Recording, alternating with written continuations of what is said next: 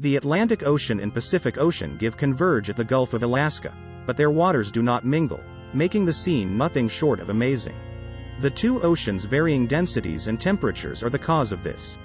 Because the water in the Pacific Ocean is light blue give and comes from a glacier, where sodium chloride, or salt, is present in lower concentrations, while the water in the Atlantic Ocean is dark blue and contains a higher concentration of salt, the two oceans' waters do not mix. Allah has informed us in the Quran that He has let free the two seas meeting together. Between them is a barrier which they do not transgress. Before they even discover it. This indicates the power of God book.